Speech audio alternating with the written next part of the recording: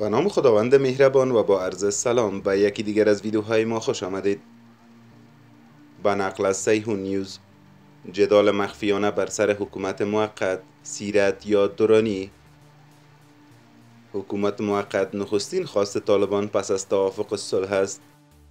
اما حکومت افغانستان این ادعا را نمیپذیرد و نظام افغانستان را غیر قابل مذاکره عنوان می کند حکومت افغانستان بارها از طالبان خواسته است تا جمهوریت را همراه با دستگاه نظام کنونی بپذیرند. اما طالبان رویای حکومت موقت را در سر می پرورانند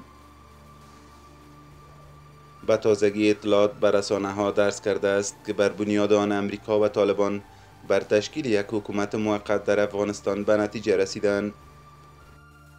در این میان خبرها آکی از آن است که امریکا و طالبان دو چهره همچون عبدالستار سیرت سیاستمدار افغان و احمد شاه درانی یک تن از چهره های گمنام را به این سمت انگوش نشان کردند.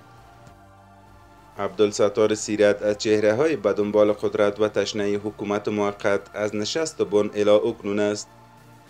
ستار سیرت از سال 2001 بدین سو بارها خواستار ایجاد یک حکومت موقت برای عبور از بحران در کشور شده است. سیرت از نامزدان حکومت موقت در سال 2001 نیز بود که در نتیجه با 11 رای در مقابل دو رای حامد کرزی پیروز شد. اما بنابر مداخله خلیلزاد و امریکا آن زمان پذیرفته نشد و کرزی رهبری حکومت موقت را بر دوش گرفت. این مرد 83 ساله از شخصیت های نزدیک به شاه سابق محمد ظاهر شاه است که در نخستین دور انتخابات ریاست جمهوری افغانستان در سال 2004 همچنان نامزد بود. اما در دهه گذشته فعالیت سیاسی چشمگیر در افغانستان نداشته است.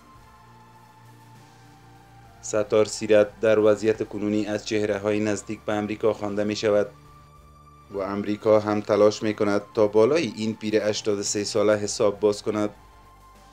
از سوی همستار سیرت امیدوار است تا لایگری های دو دهه اخیرش برای امریکا نتیجه داده باشد. و روی همین منظور سیرت یکی از افراد دست یکم به عنوان رئیس حکومت موقت خوانده می شود طالبان نیز به دنبال یک چهره بیطرف در رهبری حکومت موقت هستند که در فضای دو دهه اخیر در افغانستان دخیل نباشد. ستار سیرت یکی از منتقدین نظام و وضعیت جاری در کشور خوانده شده و حکومت موقت را یکی از راه های بیرون رفت از این بنبست پیشنهاد می کند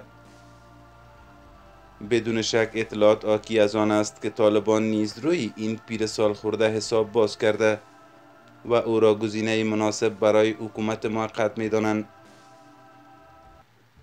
دلگرمی طالبان نسبت به رهبری اداره موقت حرف امروزشان نیست بلکه سالها پیش برای رهبری حکومت موقت آقای سیرت را پیشنهاد کرده بودند.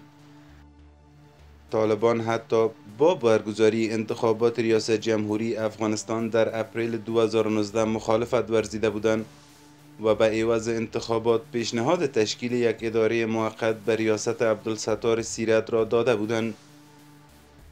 هنوز از رابطه سیرت و طالبان اطلاعات به رسانه ها دادن نشده و عبدالستار سیرت نیز در این مورد تا اکنون اظهار نظری نکرده است.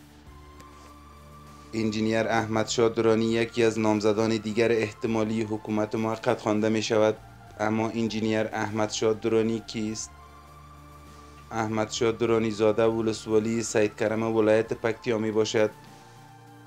از او به عنوان تاجر در امریکا یاد شده است که اکنون در دوبی زندگی می کند اما مشخص نیست که چی تجارت دارد. یافته های سیهون نیوز نشان می دهد که انجینیر احمد شادرانی هیچ گونه تجربه کاری در حکومت را ندارد و تجارب او متمرکز به تجارت و مدیریت بوده است. خبرگزاری سیهون نیوز تلاش کرده است تا رابطه این فرد گمنام را با افغانستان دریابد. اما درانی تنها دو نوشته درباره جنگ افغانستان تحت عناوین نگاه خارج از صندوق به افغانستان و ایده های جدید برای صلح و ثبات پایدار داشته است. که چرا درگیری در افغانستان پایان ندارد و چگونه می شود با آن مقابله کرد؟ نوار تصویری که خبرنگار سیهون نیوز با آن دست یافته نشان می دهد که انجینیر احمد شاه درانی 50 سال می شود در بیرون از افغانستان زندگی می کند احتمالات نشان می دهد که انجینیر احمد شاد درانی از منظر اینکه یک چهره امریکایی است می تواند مورد اعتماد واشنگتن باشد. اما در مقابل این که با طالبان چی پیوندی دارد و چگونه طالبان بالای این تاجر گمنام حساب باز کردن روشن نیست. حکومت موقت در داخل افغانستان نیز نامزدهایی دارد. شمار دکتر عبدالله عبدالله رئیس شورای عالی مصالحه را از کاندیدای اداره موقت می نامند عبدالله عبدالله به دلیل اینکه یک چهره میانه و یک سیاستمدار اعتدالگرا خوانده می شود ممکن از سوی طالبان و امریکا پذیرفته شود. با این هم از سخنگوی ایت طالبان در قطر در برگه تویترش نوشته است که مسئول سیاسی این گروه در بخش روابط با افغانها شب گذشته با عبدالستار سیرت زرغونشاه شنواری و انجینیر احمد شاه درانی کنفرانس ویدیویی انجام داده است. به گفته محمد نعیم وردک دو طرف درباره وضعیت جاری و پروسه صلح افغانستان گفتگو نموده و بر حل صلحآمیز معزل افغانستان در روشنی توافقنامه دوحه تاکید نمودند اما اینجا در افغانستان از این گفتگو تعبیر متفاوتی وجود دارد و آن هم این که طالبان قرار است انجینیر احمد شاه درانی و عبدالستار سیرت را به عنوان گزینه رئیس اداره موقت به امریکا پیشنهاد نمایند.